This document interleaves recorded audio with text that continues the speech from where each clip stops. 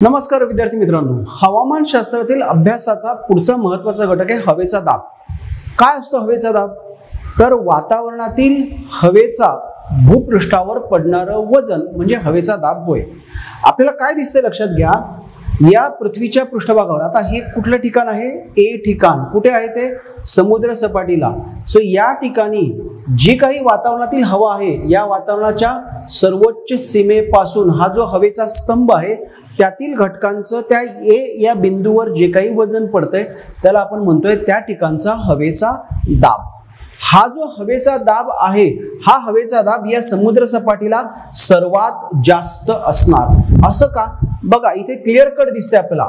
आपण ए हे ठिकाण समुद्र सपाटीला आहे त्या ठिकाणच्या या हवेच्या स्तंभाची उंची पाहिली तर ती सर्वात जास्त आहे. आपण समुद्र सपाटीपासून उंच गेलो आपण आलो बी या ठिकाणी. आता इथे हवेच्या स्तंभाची उंची झाली कमी. मग आपण आणखी उंच गेलो सी ठिकाणी हवेच्या स्तंभाची उंची आणखी कमी झाली. म्हणजेच काय? समुद्र सपाटीपासून उंच जाताना हवेच्या स्तंभाची उंची कमी होते त्या स्तंभातील हवा विरळ होत जाते. परिणामी पडणारं हवेचं वजन कमी होत जातं हवेचा दाब कमी होत जातो. सो निष्कर्ष काय? तर हवेचा दाब समुद्र सपाटीला सर्वाधिक असणार. समुद्र सपाटीपासून उंच उंच जाताना हवेचा दाब कमी होत जातो. याच कारणामुळे उंच गेलं की हवा विरळ झालेली आहे हवेचा दाब कमी झालेला आहे आणि मग जे गिर्यारोहक पर्वतामध्ये उंच जातात त्यांना टप्प्याटप्प्याने उंची गाठावी लागते. थोडं उंच गेलं की तिथे काही काळ राहायचंय का? तर तिथल्या कमी दाबाच्या परिस्थितीशी शरीराने जुळवून घ्यायला शरीराला वेळ द्यावा लागतो. तसंच बऱ्याचदा समुद्र सपाटीपासून उंच जाताना आपल्या नाकातून रक्तस्राव होतो. आपल्याला कानाला बधीर झाल्याप्रमाणे सुन्न झाल्याप्रमाणे भासतं. ह्या सगळ्या गोष्टी कशामुळे होत असतात?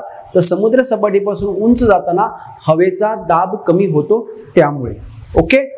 सो जर आपण हवेचा दाब मोजला तर तो दाब किती आढळतो? सरासरी आपल्याला पंचेचाळीस अंश अक्षवृत्तावर समुद्र सपाटीवर कुठला दाब मांडलाय आपण हा? समुद्र सपाटीवर जर आपण इंचामध्ये मोजला तर एकोणतीस पॉईंट ब्याण्णव इंच इतका हवेचा दाब आहे. जर मिलीमीटरमध्ये मोजला तर सातशे साठ मिलीमीटर आहे. जर आपण मिली मोजला तर एक हजार तेरा पॉईंट दोन मिलीबार इतका हवेचा दाब आपल्याला आढळतो. ओके? आता पुढचा मुद्दा लक्षात घ्या. ज्या वेळेस आपण पृथ्वीच्या पृष्ठभागावर वेगवेगळा हवेचा दाब अनुभवतो आणि मग ही ठिकाणं आपण नकाशावर दाखवण्याचा प्रयत्न करतो त्यावेळेस हवेचा दाब समान असणाऱ्या ठिकाणांना जोडणारी रेष आपण नकाशावर आखली. आय रिपीट हवेचा दाब सारखा असणाऱ्या ठिकाणांना जोडणारी रेष आपण नकाशावर आखली तर त्या रेषेला आपण काय म्हणणार आहोत? समदाब रेषा आयसो बार ओके या हवेच्या दाबाबाबत एक अत्यंत महत्त्वाचा मुद्दा आपण अभ्यासणं गरजेचं आहे की ज्यावर पुढच्या हवामानशास्त्रीय घटना अवलंबून आहेत. तो मुद्दा काय आहे? तर तो मुद्दा आहे हवेचं तापमान आणि हवेचा दाब यांचा परस्पर संबंध. काय परस्पर संबंध आहे? तर हवेचं तापमान आणि हवेचा दाब परस्परांशी व्यस्त प्रमाणात आहेत. म्हणजे तापमान वाढलं की दाब कमी होणार. तापमान कमी झालं की दाब वाढतो. असं का? हवेचं तापमान वाढलं की हवा प्रसरण पावते विरळ होते. विरळ हवेचं पडणारं वजन कमी असणार. याच्या उलट हवेचं तापमान कमी झालं हवा थंड झाली की हवा आकुंचन पावते दाट होते कॉम्पॅक्ट होते. त्या दाट किंवा कॉम्पॅक्ट हवेचं पडणारं वजन वाढतं. आणि मग आपण म्हणणार तापमान कमी झालं दाब वाढला.